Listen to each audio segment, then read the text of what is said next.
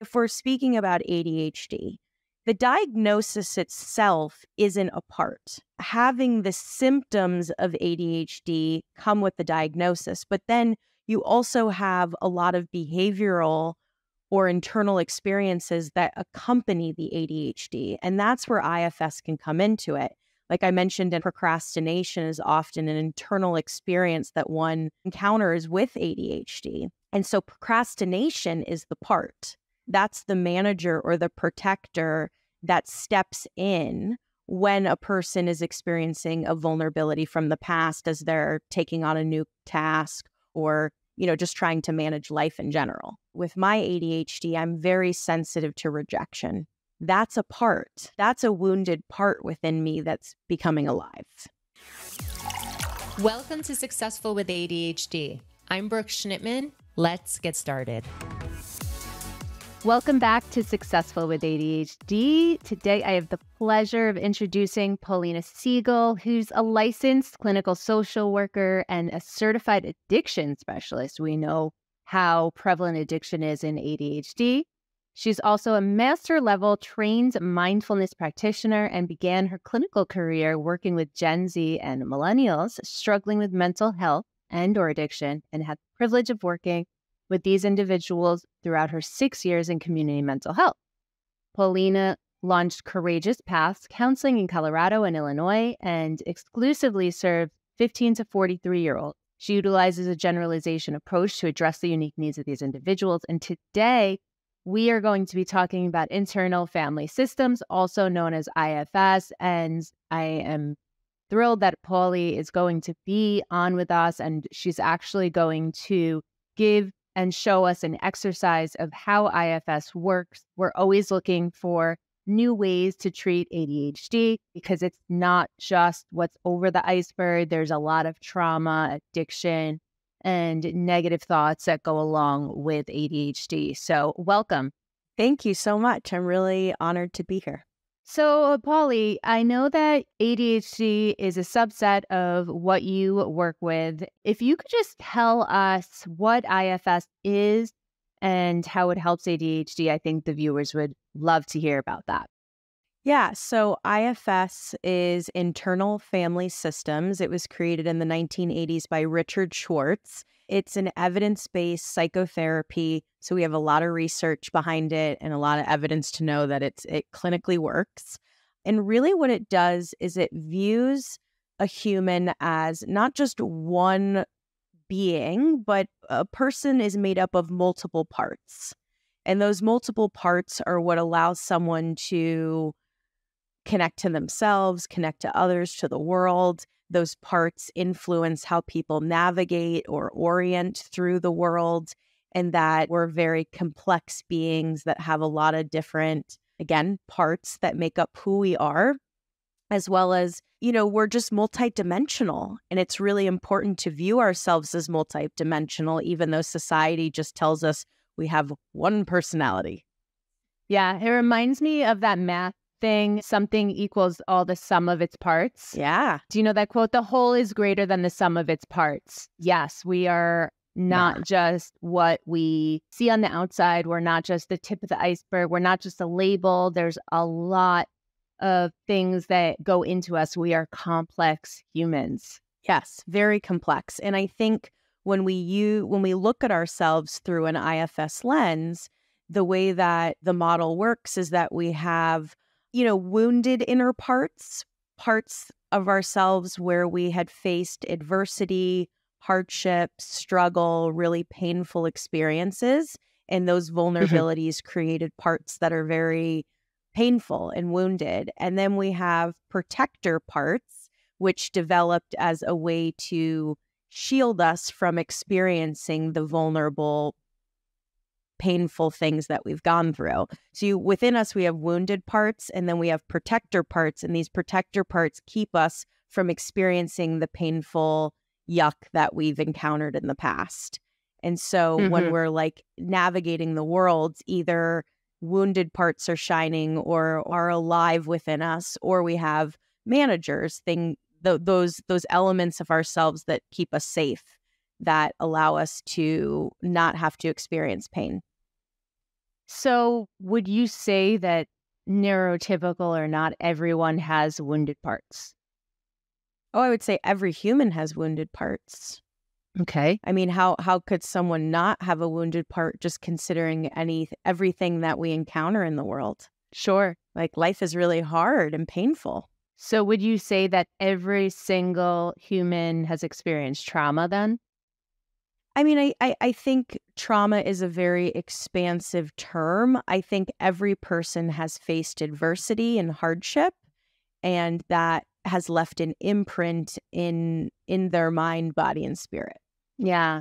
And especially with someone who has struggled with ADHD or is neurodivergent, there's a lot of struggle that we encounter. Mm-hmm. And I say we because I also have ADHD. And, you know, whether that was struggles academically growing up or struggles interpersonally or socially, like there there are challenges and those challenges leave an imprint and make and make us have to adapt because of those challenges. Mm-hmm. When did you get diagnosed? I got diagnosed in second grade. Have you used IFS on yourself to manage your ADHD? You know, it's so and it's such an interesting question because I was not involved in any mental health. Like I wasn't working with a therapist growing up, but I almost instinctively kind of knew that I was made up of all these different parts and different parts would become active within me or would become more dormant depending on the situation that I was in as I was navigating the academic world. And so I never knew how to label that as IFS, but I think I was aware of it. And now certainly, you know, being educated in the practice and and doing it with clients day in and day out, I absolutely pay attention to all of my intricate parts that that come alive in certain moments and then I'm really curious and exploratory with them and I I really try to be allies to those internal experiences. Yeah. So, would you say that your metacognition has been a strength of yours? Just seeing things from a bird's eye view. How are things happening? Right. Oh, okay. Definitely. So, that executive functioning skill is a strength of yours. Yeah. I mean, I had a lot of intervention from a young age. My mom took, you know, my diagnosis very seriously and she went full throttle into making sure that I had every resource and every opportunity possible, which I'm so, so grateful for because I'm not sure, you know, who I would be today without all of the intervention. But the ADHD, and, you know, I also was diagnosed with working memory issues and slower processing Same. speeds. And so I created systems. You know, systems were the only way for me to thrive. And there was a lot of rigidity around what I did, how I did it, when I did it. There was structure. Mm-hmm. And I think that's Yeah. what allowed me to help with strengthen my executive functioning. I'm glad that you brought up structure because I completely agree that we thrive off structure, but hate it at the same time.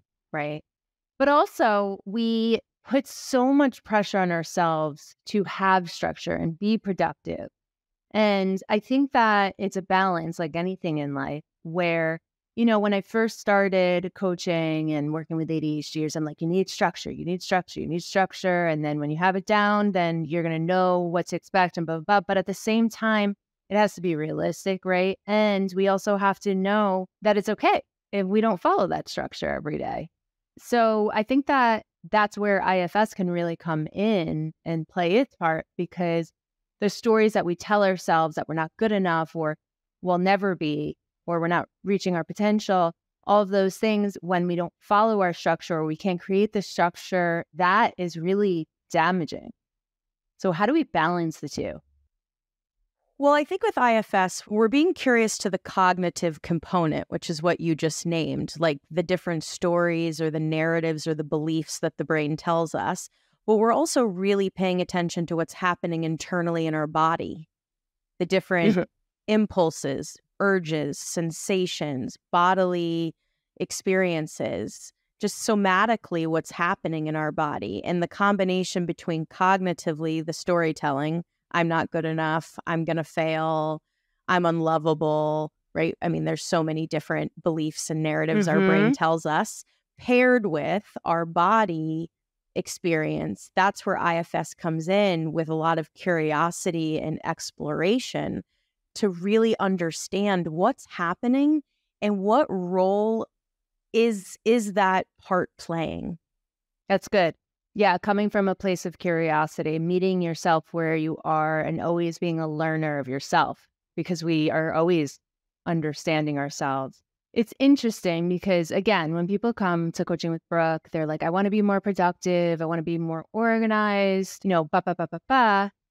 And we take a step back for a second and say, kind of like, you know, looking internally, well, what does that look like to you, right? Let's clear some of the chaos out first, do the fundamental and foundational stage first before we build this massive structure in ourselves because we have to be kind to ourselves. We have to slow down those negative habits, those negative thoughts, so then we can do that small actionable goal.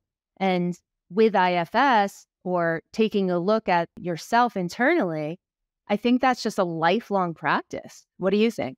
Oh, absolutely. And and we have a lot of subsets of family families within us. So people will say internal family systems is this therapy with families? And I'm like one would maybe guess that, but it's actually our internal families. So these parts are different family members and those parts interact with one another and some parts are allies and some parts are enemies to one another, just like you would see in a normal family, like a real life family. And when we get really curious to each of these family members within us or the subsets, so like if we're speaking about ADHD, mm-hmm. the diagnosis itself isn't a part. Okay. And and I want to kind of emphasize that. So like, you know, having the symptoms of ADHD come with the diagnosis, but then you also have a lot of behavioral or internal experiences that accompany the ADHD. And that's where IFS can come into it. Like I mentioned in our Facebook Live, procrastination is often an internal experience that one encounters with ADHD. And so yeah. procrastination is the part. That's the manager or the protector that steps in when a person is experiencing a vulnerability from the past as they're taking on a new task or trying to complete a task or you know just trying to manage life in general. Absolutely.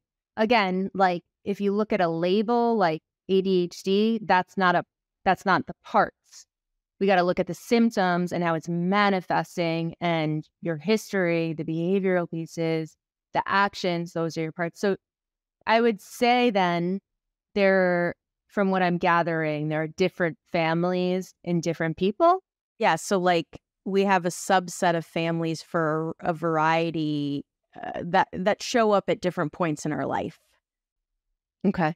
And so that's why we always need to be curious and tune into ourselves in moments. So for instance, with with my ADHD, I'm very sensitive to rejection. Highly sensitive to rejection. That's Me a too. part right? That's that's a wo- that's a wounded part within me that becomes active when i sense rejection or dismissal or withdrawal of love. So that's where i could use ifs to be like let's say i'm interacting with a friend and i send a message that i'm really excited about and they send back a message and i determine it's not as it's not as enthusiastic as i really wanted it to be and they say okay or thumbs up like wait i just put so much effort into this text that's all i get. Yeah and i used uh, like 50 uh. exclamation points and they just wrote like you know okay. In that moment i could close my eyes and tune in to ooh i feel tightness in my chest. Okay. And then you know and, and i'm sure in this episode we'll go through some ifs exercises but that's that's a wounded part within me that's becoming alive yeah. And Dr. William Dodson talks about like the punch in the chest with rejection sensitive dysphoria and ADHDers. That's what it feels like mm-hmm. when they mm-hmm. feel that sense of rejection. So, what would you say? Is there a formula, or I know you're going to probably say everyone's different. You said some of the parts are enemies and some of the parts are friends. Mm-hmm. Is there any common ones that are enemies and common ones that are friends. Interesting. Um, specifically with ADHD. Sure. Yeah. Let's process this together. I, I think because it's I've never actually thought of this question, so I don't have a prepared answer, but I think we can probably discover it together. So let's let's name different symptoms of ADHD. I'm gonna I'm gonna look at you because you are the guru expert. Shame. Okay. So shame is is a wounded part. Uh, we talked about procrastination, time management, which is a part of procrastination is a part of time management, time blindness, which is a part of time management, sustained attention. So being able to pay attention for a long period of time, shifting attention from one thing to another and back. That's difficult for us. Working memory, as you mentioned, processing speed, emotions. The shame falls in the emotion. Overwhelm, underwhelm. Mm-hmm. Um, I would say, you know, seeking out dopamine, like really wanting Yep, like dopamine. shininess and Yep. novelty. Actually, I talk about the 10 disruptors of ADHD in my upcoming book. And it's underwhelm, exciting new idea, dopamine, hyperfocus, burnout, RSD. So now comparing yourself to others, also getting that overwhelming sense of rejection, and then shutting down. And I, I think I skipped a couple, but that's the overall, the overarching cycle that ADHDers go through. Okay, so I'm really glad you mentioned those because just from that alone, I could see maybe a relationship between a fa- two family members that might have tension or discourse. So burnout we experience when we're overdoing, Mm-hmm. right? When we're in cheetah mode and we're going, going, going, and we're tackling so much, and we're not we're not allowing ourselves to have balance or rest. Okay, so that's one activation within us that drives us or an impulse to to achieve and do.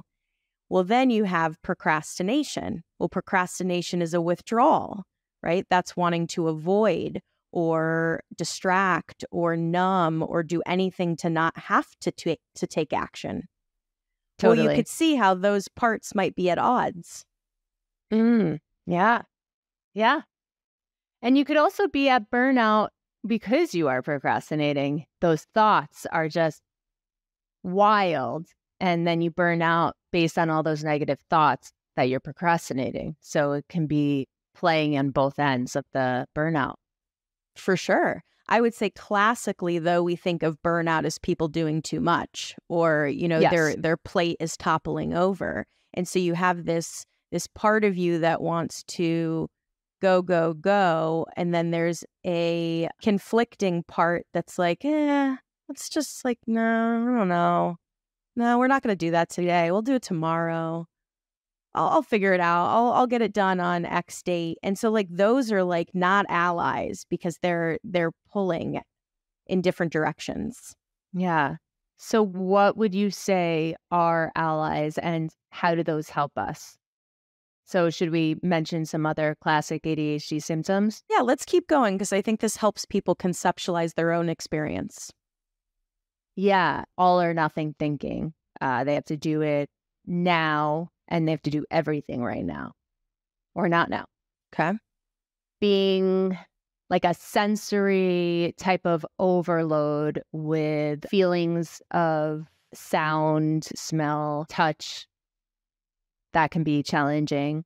Visual, sensory overwhelm. We know executive dysfunction, getting fired from a job, not knowing, having a really good intuition about things, but not trusting it. Mm. So we get those gut feelings, and they're usually right with ADHD because we're hypersensitive. So we take everything in. But then, unless we're confident, we don't trust our gut. It's funny. I'm I'm I'm seeing more of the potential enemies than I am the allies in these examples, which is which is not necessarily a bad thing. I mean, How about this? Having the potential, working really hard, getting the job, but then not succeeding in the job because of your executive dysfunction. I guess those are enemies again. Right, right. And and it's actually interesting to think about how different disorders, whether it's an anxiety disorder or, or depressive or stress related trauma, how sometimes those disorders eh, or those parts maybe work more in congruence with one another, whereas some disorders might have more tension or pull between different parts. I think that's Mm. that's something to notice too. I think the way to think about it though is when I'm experiencing ADHD, like when the, when those symptoms or behavioral responses are active, which ones seem to work together?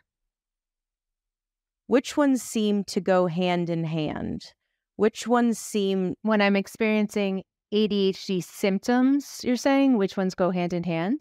yeah, which ones seem to accompany one another? Because that could be another way of thinking about allyship between parts. I would say, and again, sometimes it could be perceived as negative, but doing everything all at once and then procrastinating on the things that you intended to do.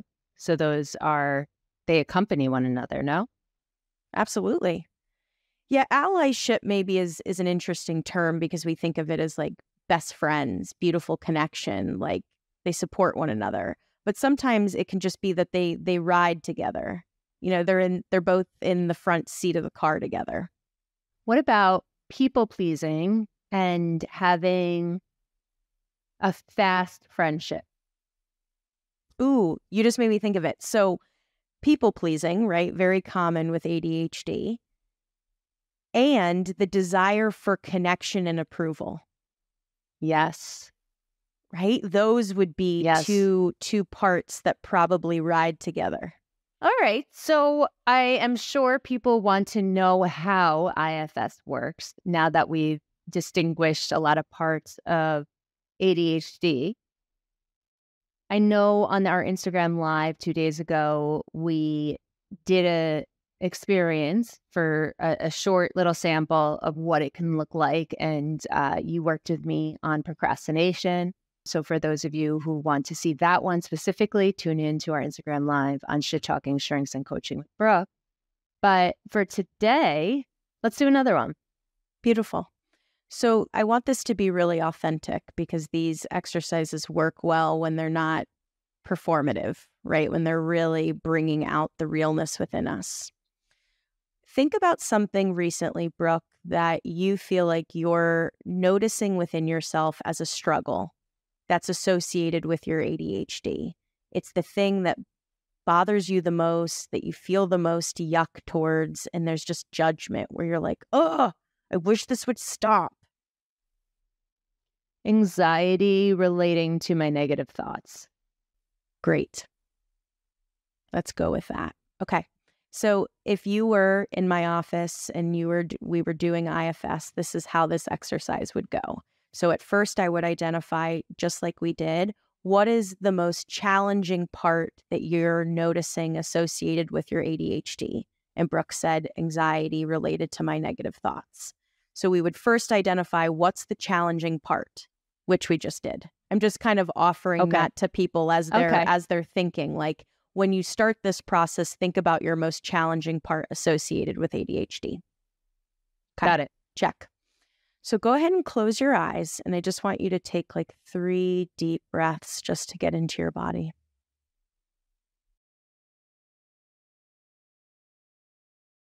Okay. And I want you to think about just a recent example of when that anxiety was active within you. And it might be easier to identify the negative thoughts that that tend to go with the anxiety. Okay. And and I want you to describe the sensation in your body when that anxiety is full throttle. I feel out of my body when that happens. I feel out of control and I feel tense. And I'm battling myself like this ping pong almost. Like I know I don't, I shouldn't think this way. And I've been able to manage it in the past. What's happening right now? Okay. And when you feel out of your body, it does that feel dissociative? Yeah, kind of. Yeah. Which which obviously is that's a part. That's a part that keeps yeah, I you safe. dissociate sometimes. Mm-hmm. Mm-hmm.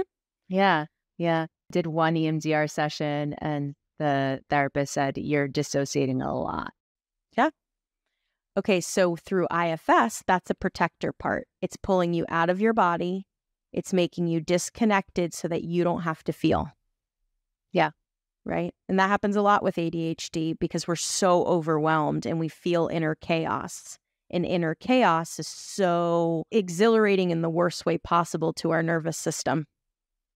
Yeah. Okay, so let's go back to the anxiety. When you feel anxiety, where does it sit in your body? Here, my shoulders, my chest, my quads, my toes, my hands. Okay. And where do you feel like it's the strongest? My shoulders. And you sort of pointed to your neck and your chest area. Yeah. Okay. So go ahead and close your eyes again. And I want you to just focus on that area in your chest, throat, and shoulders.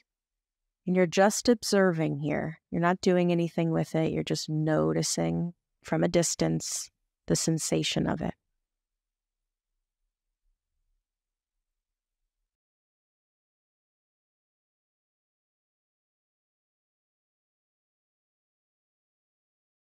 And when you feel like you're connected to it, give me a thumbs up. Okay. I want you to ask this anxiety what do you want me to know? And you don't need to think of the answer. The answer will appear in your mind because parts speak to us. The only thing that comes to mind immediately is I'm protecting you, which kind of might be your voice in my head. I'm not sure. Okay, let's go with that. So I'm protecting you. Go ahead and ask it, how old does it think you are? Eight.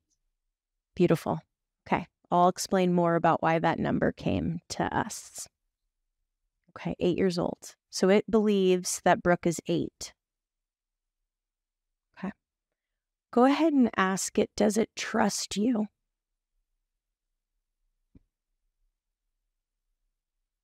Okay. No. No. also also ah. really common our our parts don't always believe in us okay i want you to ask it brooke what are you afraid would happen if you didn't do your job inside of me so if this were to disappear what is it afraid would happen if it no longer was in you i would get hurt that's easy for me that immediately came up. Yeah. Yeah. You would experience pain. Okay. Beautiful. You're doing awesome here. Go ahead and ask it what does it need from you in order to feel safe? A hug. Mm. Beautiful. I want you to imagine giving this anxiety, this sensation, a hug right now. Yeah, and you can use your breath to do that. And, and I want you to describe to our listeners what are you noticing as you extend love and compassion to this? A smile on my face or like my internal child. Um, and also just a state of calm. Like I believe it or not, and I'm not BSing here. I feel like less pressure on my chest and my neck and my shoulders. Mm. I'm still a little short on breath, but Mm-hmm. besides that, I feel a lot more at peace. Beautiful.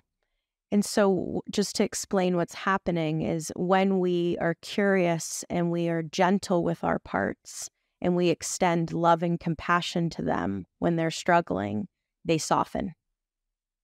Right? You noticed physiologically your body, your body released.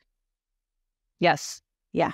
And that's that's part of the work here. So before we wrap up this exercise, I want you to extend gratitude to this part. So, as you close your eyes, I want you to say, in your own words, Thank you so much for providing me insight, for sharing information I needed to know, for showing up and engaging with me when I needed you to. And I'm very thankful for that. And that I will return and be with you soon, that this isn't our last conversation. Yeah. Now, that was great.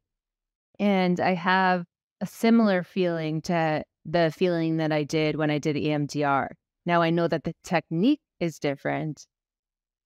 How does the results differ with EMDR and IFS for those people out there who know what EMDR is? Yeah, and as an EMDR clinician, I use EMDR and IFS in conjunction every session because they work beautifully together. EMDR uses bilateral stimulation. We can do that through tapping, through eye movements, through buzzers, and it's activating the left and right hemisphere to create more integration because trauma or intense stressors sever integration in the brain. And so, what's interesting is when we're doing EMDR and different emotions come up, or different feelings come up, or cognitions come up I'm not good enough, I'm unlovable, I'm a failure we want to take those moments to see are these wounded parts, or another term for that in IFS is exiled parts, the parts of ourselves that we have banished, that we never want to feel, that are so painful and yucky. So when that comes up in EMDR, we can pause in a set and do this exercise. What do you want me to know? What age do you think I am? Do you trust me? What are you afraid would happen if you didn't do your job inside of me? And then we can notice protector parts or managers and how that shows up in EMDR. So, I guess to come back to your original question, it's creating integration. Both IFS and EMDR do the same thing. It's just a different route to create integration and harmony. Gotcha. And how long I, I know it's different for everyone but how long do the effects last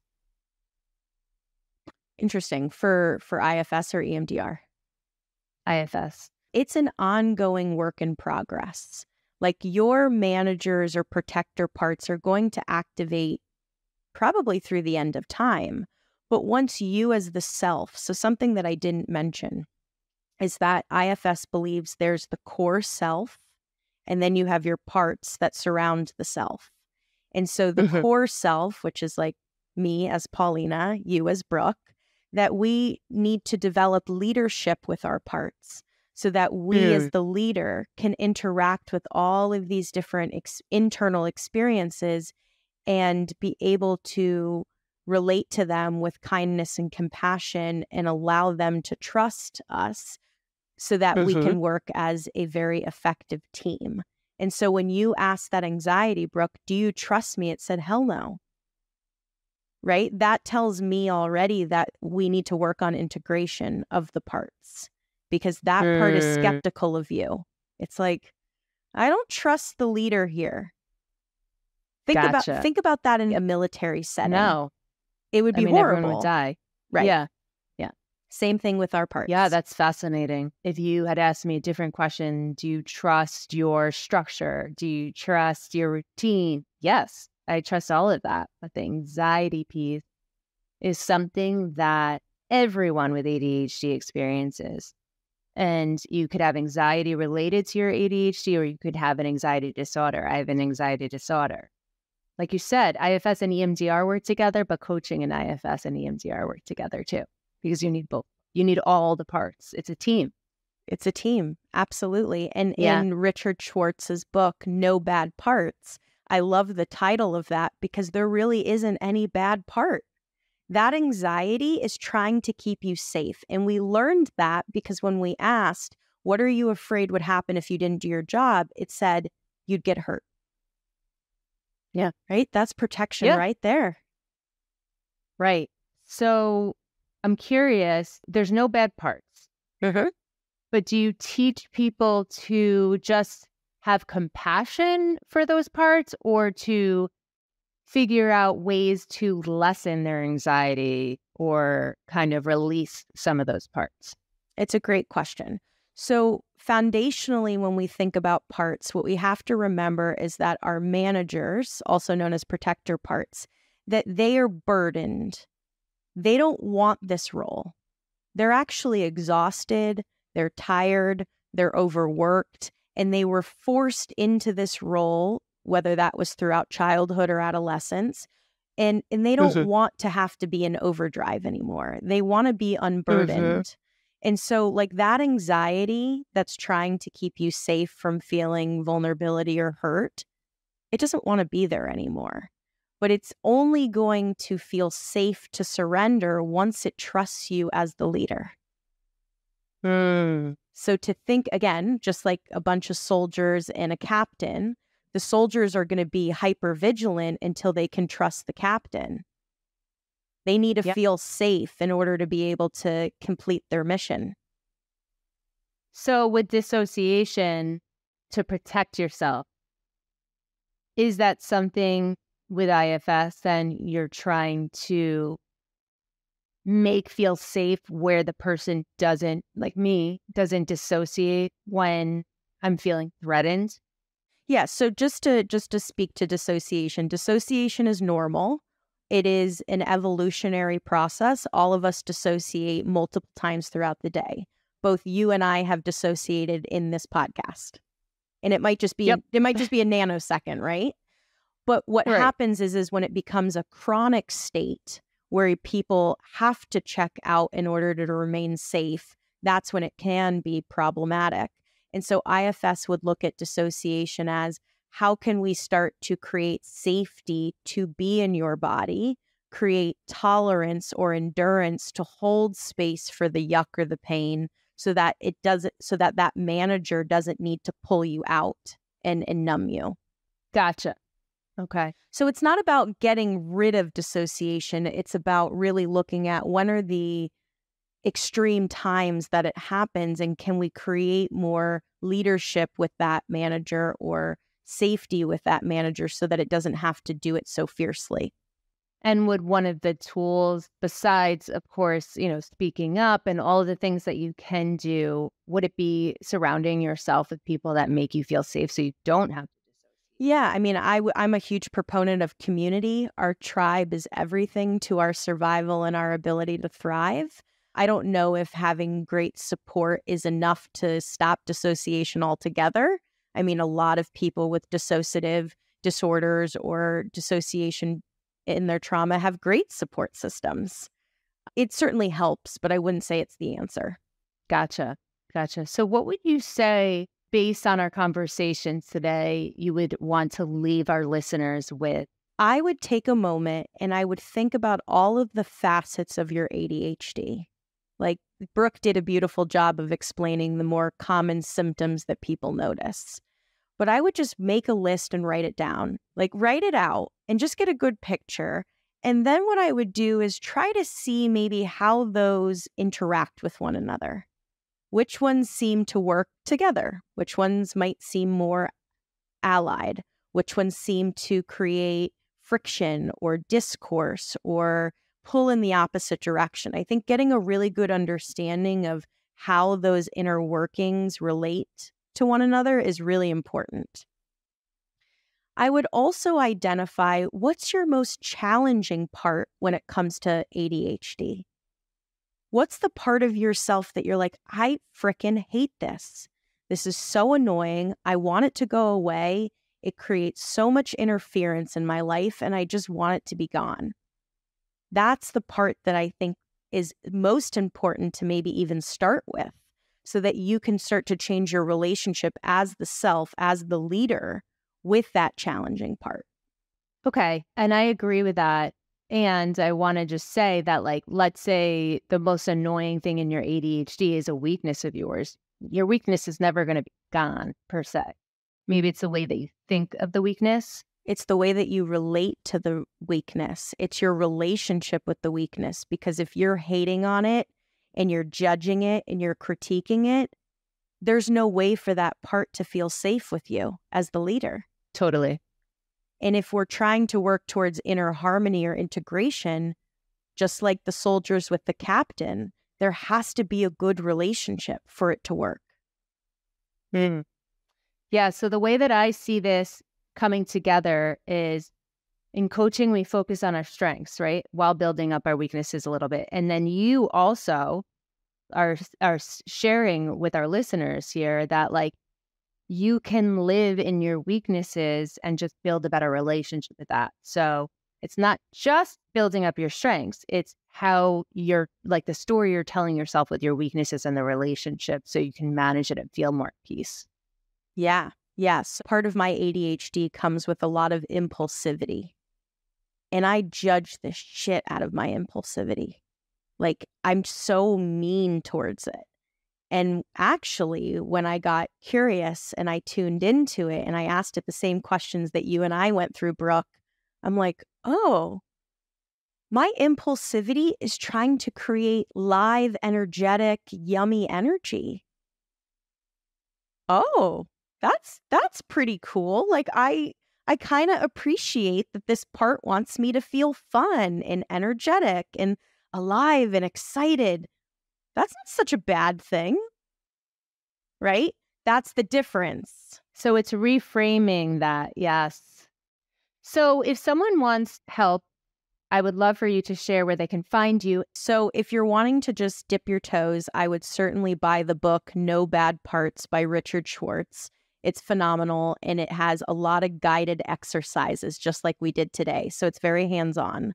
If you want to do IFS with a trained professional, I offer counseling services in Colorado and Illinois. So if you live in either of those states and you want to start the IFS or EMDR journey, I am here and can be supportive. And then yeah, we we have a podcast called Shit Talking Shrinks. It covers all different mental health topics. It's not just about IFS or ADHD. It covers a lot of different realms. So if you want to, you know, want a little bit of versatility, you can head there. I love that. And we'll put the sh- the links in the show notes, but thank you so much for coming on, Paulina. It's great yeah. seeing you again. And this was really for those of you who are watching or listening, the this I feel a sense of calm, honestly. There's just so much to be curious about. So I appreciate the knowledge because you just don't know what you don't know and you're helping people know more about themselves by asking them the right questions. Yeah, absolutely. Well, thank you for having me. It's a privilege. Thanks for listening to this episode of Successful with ADHD. I hope it helped you on your journey and if you need any additional support for you or a loved one with ADHD, feel free to reach out to us at coachingwithbrooke.com and all social media platforms at Coaching with Brooke. And remember, it's Brooke with an E. Thanks again for listening. See you next time.